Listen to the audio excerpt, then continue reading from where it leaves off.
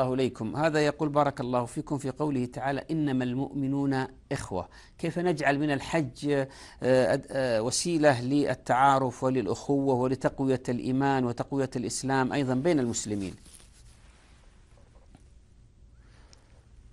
بأن تجعل الحج والعمرة نعم. خالصا لله عز وجل ويتضمن التعارف بين المسلمين والتآلف وأيضا الدعوة إلى الله والتعليم والتعلم فهو موسم عظيم وذو فوائد عظيمة ليشهدوا منافع لهم.